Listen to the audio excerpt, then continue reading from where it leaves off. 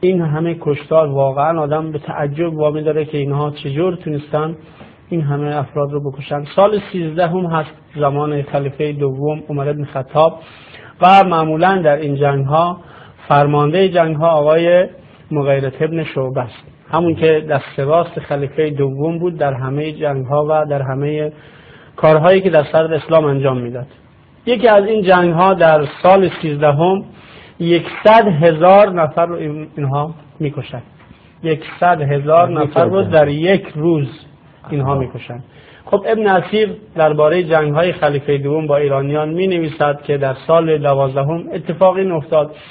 فما كانت بین المسلمین و الفرس وقعتا ابقا رمتا منها بقید عظام القتل دهرا طویلا.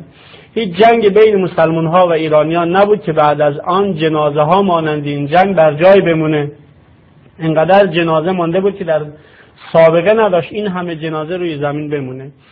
استخوان کشته ها مدت طولانی باقی ماند و کشته ها و کانو یحذرون القتل مئت الف اون روز کشته هایی که در اون روز اتفاق افتاده بود یکصد هزار نفر تخمین زده می‌شد.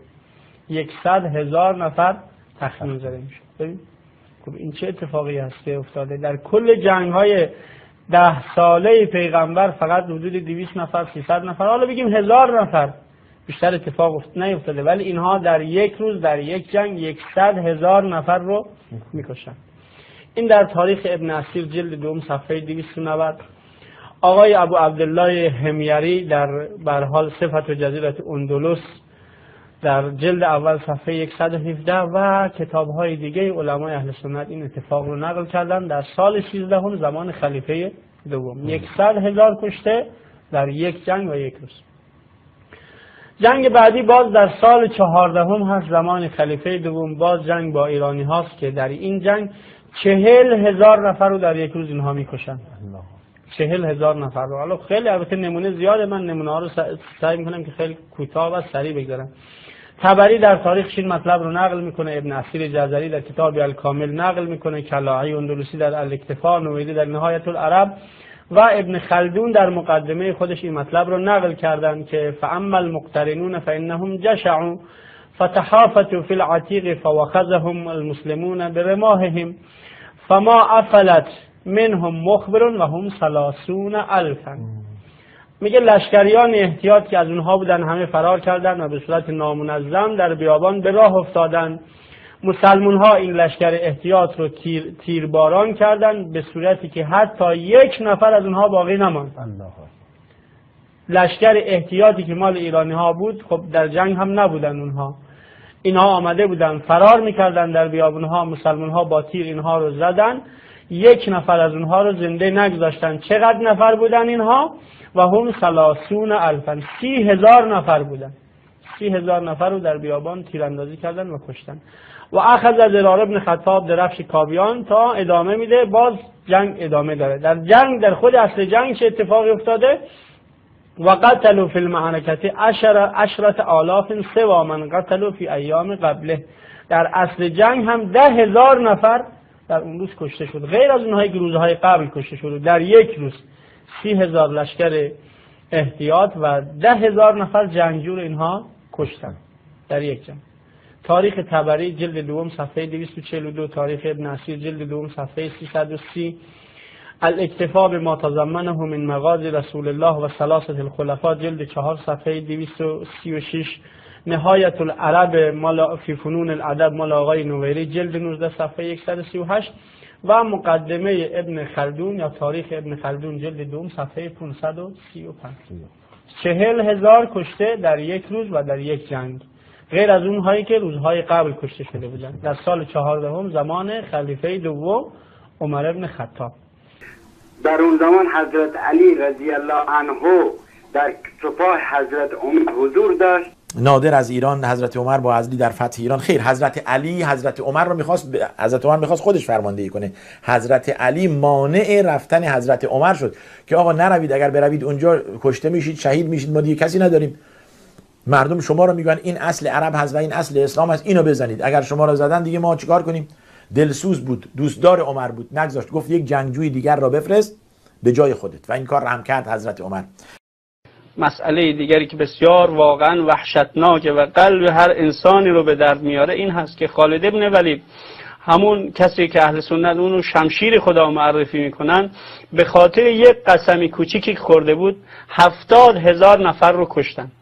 در جنگ با ایران در سال دوازده هجری زمان ابوبکر که تبری در تاریخ خودش ابن اسیر در الکامل نویری در نهایت العرب و حتی ابن کثیر دمشقی سلفی در البدایه و نهایه و حتی ابن خلدون این مطلب رو در مقدمه خودش نقل کرده که خالد قسم خورد اگر به مشرکین دست بیابه و به اونها دسترسی پیدا کنه جوی خون را بیاندازه. بله فقال خالد اللهم ان حزمتم فعلی ان لا استبقى منهم من اقدر علیه حتی اجرا من دمائهم نهرهم. خدایا اگر من اینها رو شکست دادم بر من هست که جوی خون را بیاندازم خب شروع کردن وقتی به اینا دسترسی پیدا کردن شروع کردن به کشتن. فارس ها میگه فرار کردن و شکست خوردن رسیدن به اینا رو دونه دونه دستگیر کردن شروع کردن به کشتن. یک نفر دو نفر ده نفر صد نفر تا هفتاد هزار نفر رو کشتن. سر بریدن بله. حالا هفتاد هزار نفر رو سر بریدن بعد یک شخص به نام قعقا پیش عمر اومد گفت لو قتلت اهل الارض لم تجری دماءهم اگر ما تمام مردم زمین رو هم بکشیم به حال جوی خون را نمیفته این قسم شما رو چیکار کنیم؟ بعد دستور دادن گفت از بالای جوب آب رو رها کنن آب و خون قاطی بشه را بیفته تا قسم خالد راست در بیاد. یک قسم کوچیک خوردن هفتاد هزار نفر بیگناه رو که برها شکست هم خورده بودن اسیر بودن این هفتاد هزار نفر رو کشتن بله. یا مثلا باز در زمان ابوبکر در زمان عمر سال 13 هجری اولین سالی که خلیفه شد صد هزار نفر رو در یک روز کشتن اینا صد هزار نفر. نه یک نفر نه دو نفر نه دویست نفر هزار نفر در صد هزار نفر رو در یک روز که ابن اسیر درباره جنگ های خلیفه دوم با ایرانیان می نویسه که فما کانت بین المسلمین و الفرس وقت ابقا منها تا اینجایی که میگه و کان یحذرون قتل مئت الف. کشته هایی که در این روز کشته شد نزدیکی به صد هزار نفر تخمین زده می‌شد. یعنی صد استخون ها رو جمع کردن از طبق استخون ها چه جور می‌خواستن بشمارن نزدیک صد هزار نفر رو در یک روز کشتن. الکامل فی تاریخ جلد دو صفحه 290 این از این مطلب. ابو عبدالله همیری نیز همین مطلب رو نقل کرده در کتاب صفت و جزیرت اندلس جلد اول صفحه 117 این از این مطلب. چهل هزار نفر رو در یک روز کشتن. یا مثلا مثلا حدود چه، چهار, چهار فرسخ مردم رو به صف کردن همه رو اعلام کردن. انشالله اینا رو دونه دونه در اون برنامه اختصاصی خدمتون عرض خواهیم کرد. بله. در نهج البلاغه هم عمر رضی الله تعالی عنه از سوی علی رضی الله تعالی عنه مورد تعریف و تمجید قرار گرفته. اگه بخوایم نهج البلاغه رو که مورد قبول آخوند هاست بپذیریم با توجه به آنچه که از مدح و ستایش درباره عمر درش اومده و از طرف دیگه داستان مورد نظر آخوندها از قتل و شهادت فاطمه توسط عمر رضی الله عنه مجمعین رو هم بپذیریم. خب نتیجه گیری این خواهد شد که علی به قاتلان همسر خودش پاداش هم داده که ازشون تعریف و تمجید کرده. خب همین برمیاد دیگه. قطعا چنینه که کسی که قاتل باشد بعد علی بیاد قاتل همسرش باشه علی بیاد که مشاورش بشه و دختر بهش بده. و فرزندانش هم از باب این که این مدال خوب را به گردن حضرت عمر بیندازد نام فرزندان خود را عمر نامگذاری کند. حتی عمر اکبر عمر اصغر عمر اوسط در روایت ها داریم که چند عمر داشتن علی. فرزندانش را به نام عمر. بنابراین این در منطق هم نمی گنجد. کسی که قاتل باشد بعد بیاید مشاورش بشود دختر بهش بدهد داماد خودش کند و او را نزدیک کند یا به او نزدیک بشود دار خلافه را عرض شود که در اونجا حاضر باشد قاضی عمر باشد و کمک و ناصح عمر باشد. تمام اینها دال بر که انگار بله انگار این علی اومده پاداش داده به قاتل همسرش و گفته خوب کاری کردی دست در نکنه که این را از بالاخره کول ما انداختی و و ما را راحت کردی. معنیش همینه ولی ولی بالله همچون چیزی نیست. آیا می‌دانید خالد ابن ولید در عصر خلافت ابوبکر سی هزار ایرانی را به قتل رسانید.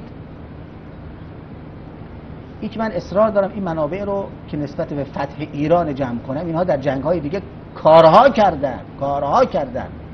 رو این جهت است که این حرف رو بی اساس کنیم که هی میشینن برمیخیزن خوشحالن که خلیفه هاشون ایران رو فتح کردن. خیلی خدمات.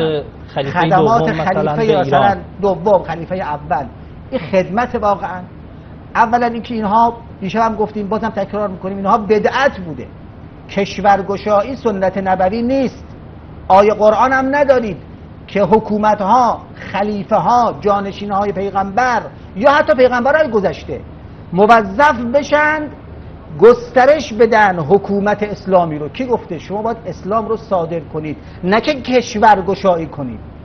لذا یک که اصلا کار کار بدعت آمیزی بود. حالا جدای از اینکه بعد از آنی که ابوبکر مرد عمر مرد عثمان مرد در سال 100 در سال 150 60 این جنگ ها دیگه ادامه داشت. خونه هایی که ریختن در قسطنطنیه در فلسطین در جاها اینا همه همینجور ادامه داشت. یعنی شما اگر نگاه کنید کسی بیاد اینا رو جمع کنه ظاهرا بعضی از بزرگواران جمع کردن واقعا برید مطالعه کنید. چقدر خون و خون ریزی به نام اسلام. حالا امروز داعش برای مردم جذابیت این شکلی پیدا کرده. مردم تعجب می‌کنن. نه آقا اینها رو که من برای شما می‌خونم ببینید که نه آقا ریشه در تاریخ داشته. یعنی کار این روزی اینا هنری نیست که اینها ابداع کرده باشن. حالا دقت کنید. این قضیه رو من تا الان سه تا نکته از خالد ابن ولید در جنگ ها گفتم. یکی هزار چشم را کور کرد در جنگ فتح الانبار یکی هفتاد هزار فارس و ایرانی رو گردن زد. بنا به خاطر بعضی از نذری که به خاطر کرده بود. نظری که کرده بود که اگر پیروز شدم تو این جنگ جور خون را میندازم. بین هفتاد هزار تا صد هزار هم نوشتن گردن زد. الان هم طبق نقلی که الکامل ابن اسیر نقل می‌کند سی هزار ایرانی دیگر رو هم کشت. الکامل ابن اسیر جلد دو طبع دارالکتب العلمیه صفحه 240 زیل حوادث سال دوازده هجری. من به بینندگان عزیز چه شیعه و چه سنی پیشنهاد می‌کنم. اگر فرصت کردید کتاب های تاریخی صدر اسلام ترجمه فارسی هم شده. حوادث سال دوازده سیزده چارده پونزده اینها رو مطالعه کنید. انبوهی از جنایات و وحشیگری هایی که ابوبکر و عمر کردند به توسط فرمان روایانشون اونجا ثبت شده. در تاریخ های درجه یکی که سنی هم قبول دارن. خب چی می‌خوایم بگیم؟ می‌خوایم بگیم باز خالد ابن ولید این وحشی که به عنوان امیر توسط ابوبکر نصب شد این همه جنایت کرده خبرها به خلیفه رسیده باز یک کلام بهش نگفت که این کارا رو نکن دو مرتبه یه جنایتی دیگه با شما و با ما ایرانی ها لما وصل کتاب هرمز الى اردشیر به خبر خالد از اسما معلوم میشه که ایرانی بودن. جناب هرمز که ظاهرا پادشاه یکی از این مناطق بوده یه نامی می نویسد به یک فرمانروای ایرانی دیگر به نام اردشیر که آقا خالد ابن ولید چه کرد؟ چه جنایتی مرتکب شد؟ صد هزار از ما ایرانیان رو گردن زد هفتاد هزار گردن زد. ارز هزار چشم کور کرد. داشته خبر می‌داده.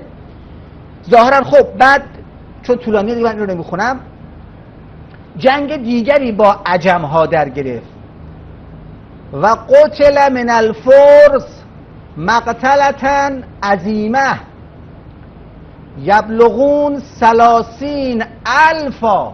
یه جنگی دیگه باز با ایرانی ها صورت گرفت. سی هزار ایرانی در اینجا کشته شد. به زبان خوش میاد.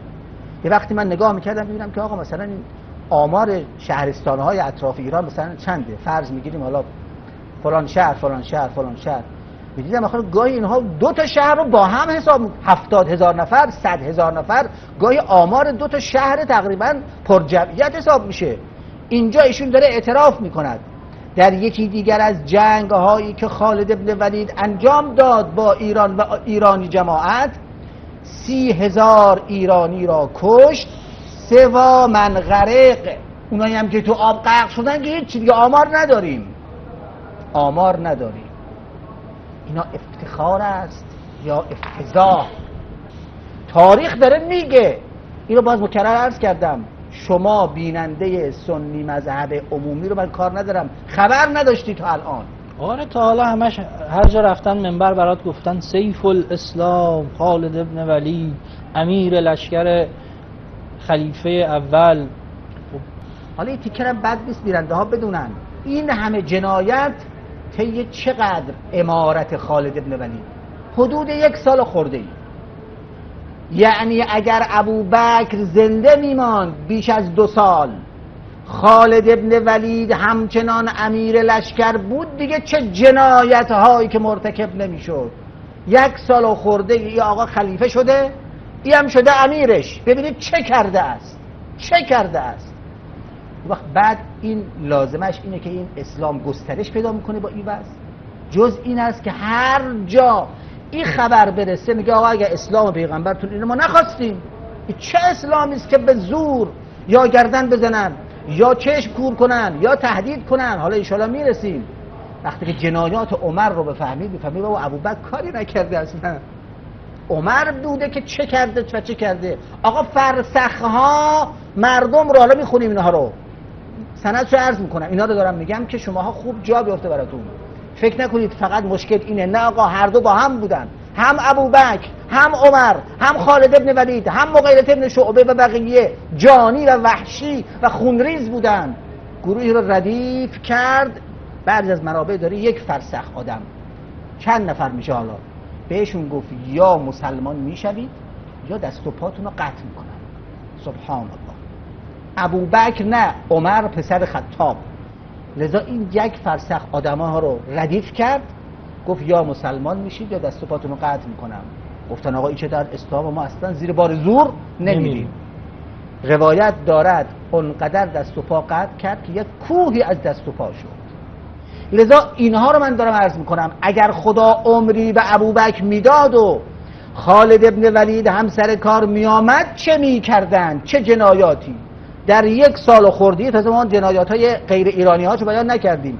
صد هزار که نظر کرده کشته سی هزار هم اینجا از ایرانیان صد و سی هزار اینجا. هزار تا چشم هم اونجوری کور کرده فقط تو دو تا چهار تا یه چیز بوده صد و سی چل هزار نفر ایرانی در این یک سال خورده ای به دست ابو بکر و امیر لشکرش خالد ابن ولید اینجوری از بین رفتن. بقیهش که بمانه. زمانی که یورش عرب به ایران شروع شد. می‌دانیم که در سراسر ایران در سراسر مکانها و, و نواحی که تازیان هجوم بردن و تازیدن در این نواحی کشتار بی نهایت فراوانی می‌کردن. ایرانیان به خصوص در دیلمستان و در نواحی گیلان مازندران مقاومت بسیار چشمگیری کردن در نخست. جنگ ها ادامه داشت مدت های مدیدی تا ماورا نه و خراسان. از دو طرف کشته می شده من برای نمونه در کچور در نزدیکی نور مازندران قبر مسلم باقیلی هستش. این کسی است که یکی از سرداران عرب هستش در اونجا کشتارهای زیادی کرد. دوستانی که علاقمند هستن به تاریخ اجتماعی ایران و یا حتی به آثار دیگه می توانم مراجعه بکنم. یا به دکتر مشکور و کتاب تاریخ و از اسلام. خواهند دید که این حتی می‌دانیم که حسن و حسین در زمان زندگانی و حیات علی ابن ابی طالب امیر المومنین شیعیان اینها همراه این مسلم بالی به مازندران گیلان حمله کردند و در اونجا ایرانیان را کشتار کردند. ولی من فکر می‌کنم سوال شما بر این قضیه بود که آیا امام حسن به امام حسن به واقع در میان لشکریان عرب بود یا نه و در شمال ایران کشتار کردن یا نه؟ بهترین کسی که من می‌تونم بهش استناد بکنم استاد مشکور هستی که استاد فرق اسلامی بود ایشون و کتاب فرق اسلامیش و فرق شیعیش و اسلامیش مشهور هستش. کتاب های آثار متعددی رو از عربی به فارسی هم ترجمه کرده. ایشون در کتاب تاریخ اسلامش تاریخ ایران پس از اسلامش مستند. شرکت امام حسن به امام حسین رو در مازندران و کشتار مازندران گیلان مستند آورد. اتفاقا ما هم امروز بنده نیم ساعت پیش کلیپ رو از یکی از کارشناسای شبکه وهابی گرفتم که تصریح می‌کرد طبق آیات قرآن کریم پیامبر بزرگوار اسلام تنها وظیفه داشته که تنها وظیفه پیغمبر ابلاغ بوده و او هیچ اجازه ای نداشته و هیچ حقی نداشته که مردم رو وادار کنه به مردم رو وادار کنه به اسلام آوردن. وظیفه پیغمبر این فقط ابلاغ بوده و او غیر از این حقی نداشته و این رو اتفاقا جزء کرامت های انسان می‌دانست و خداوند انسان رو اکرام کرده و این حق رو به او داده که هر راهی رو که بخواد انتخاب کنه حتی پیغمبر نمی‌تونه مجبور کنه کسی رو که اسلام بیاره. اما خب متاسفانه در جنگ حال ایران و اعراب و مسلمان هایی که اون روز خودشون رو مسلمان می‌دونستن کاملا قضیه برعکس هست. در یک جنگ که در زمان خلیفه اول اتفاق میفته یکصد هزار نفر کشته میشه. یکصد هزار نفر. یا در یک جنگ باز در همین زمان خلیفه اول هست که خالد ابن ولید هفتاد هزار نفر رو سر می‌بره. هفتاد هزار نفر. یعنی کم اتفاقی نیست. یا در جنگ دیگه در زمان خلیفه دوم باز هم یکصد هزار نفر سی هزار نفر. یا در جنگ زمان خلیفه اول زمان خالد ابن ولید هست که هزار چشم رو اینها کور می‌کنن که ما مدارکیم رو قبلا خدمت بینندگان عزیز نشون دادیم. نه تنها این فتوحات مشروعیت نداشته نه تنها سنت پیغمبر نبوده چون پیغمبر هیچ کسی رو مجبور نکرد. اینا حتی یک نمونه نمی‌تونه به ما نشون میدن که پیغمبر به کسی گفته باشه یا مسلمان میشه یا تو رو می‌کشیم. یا مسلمان یا کشتن. همچین چیزی رو پیغمبر اصلا سابقه نداشته. هر با هر کسی جنگیده جنگ دفاعی بوده جنگ ابتدایی نداشته. هرچند که پیغمبر اجازه جنگ ابتدایی داره معصوم اجازه جنگ ابتدایی داره. اما برای پیغمبر چنین اتفاقی نیفتاده. پیغمبر کسی رو به زور مسلمان نکرده کسی رو به زور مجبور نکرده که مسلمان بشه. ولی خب اینها گفتن اگر مسلمان نشوید تمام مردم شما رو خواهیم کشت. و حالا من بتونم مطالب رو هم در این باره نشون میدم خدمت بینندگان عزیز که گاهی اینها در یک جنگ تمام مردم شهر رو هم کشتن که در تاریخ تبری آمده.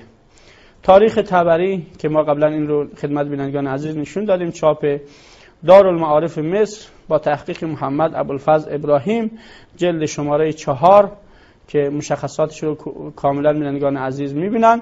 در صفحه شماره 269 در سال سی هجری قمری سال خلافت عثمان هست دیگه که در تبرستان میاد میگه تبرست جرجان یا همون گرگان و هی مدینتون علی ساحل البحر.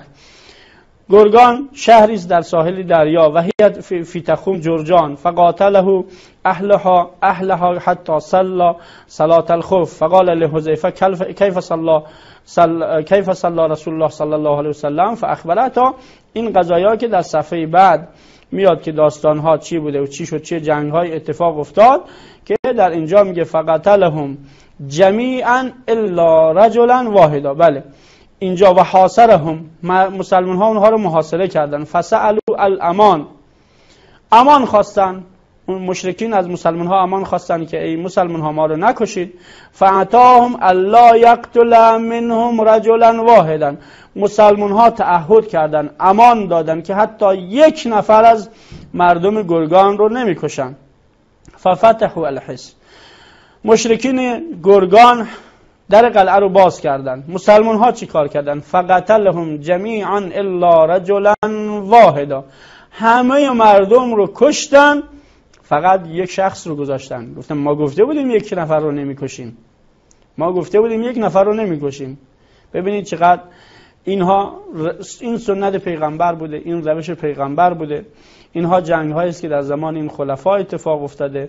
مردم گرگان الان شاهد باشند که اجداد اونها توسط کسانی که خودشون رو پیرو پیغمبر و خلیفه پیغمبر می‌دونستن به چه صورتی کشته شدن و با چه وضعیتی کشته شدن.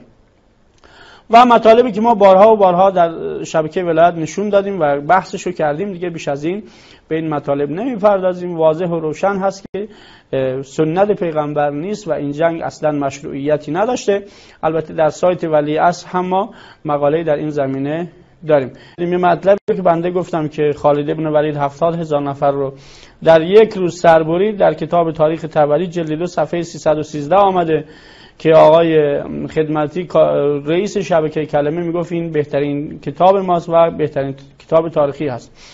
که در یک جنگ آقای خالد ابن ولید گفت که اللهم ان لك علی ان منحتنا اکتفاهم الله استبقی منهم احدا قدرنا علیه حتی اجر حتی اجر نهرهم بدمائهم خدایا اگر من دست به اینها, به اینها دست یافتم بر برگردن من باشه اینکه از خون اونها جوی رو را بیاندازم و جوی رو پر از خون کنم. این قسم رو خورد. وقتی دست دسترسی پیدا کرد به اونها دستور داد که الاثر الاثر مردم رو فقط اسیر بگیرید. لا تقتلو کسی رو نکشید مگر اینکه امتناع کنه. انقدر از مردم کشتن شبانه روز از مردم کشتن فرداشم کشتن پس فرداشم کشتن تا اینکه خون جاری شد. البته خب وقتی خون رو انسان رو معمولا سر ببرن خون فوری صفر میشه و یه جای رو می‌گیره. شخصی به نام قنقا آمد و گفت که اگر همه مردم رو هم بکشی خون جاری نمیشه و این امکان پذیر نیست. تا اینکه دستور دادن آب رو از بالای جوب داخل نهر کردن از بالا داخل نهر کردن این آب با خون قاطی شد و جریان پیدا کرد و قسمی که خالد ابن ولید خورده بود به حال قبول شد و به حال به اون قسم خودش عمل کرد. هفتاد هزار نفر رو فقط و فقط هفتاد هزار نفر رو کشتن فقط به خاطر یک قسم آقای خالد ابن ولید. ولی اینم باز در همین کتاب در کتاب الکامل فی تاریخ جلد دو صفحه 242 آمده و کتاب های دیگه که به حال هفتاد هزار نفر رو کشتن فقط و فقط به خاطر اینکه قسم آقای خالد راست بشه. این اسلام این دینه اگر این اسلام هست ما اصلا علاقه به این اسلام نداریم.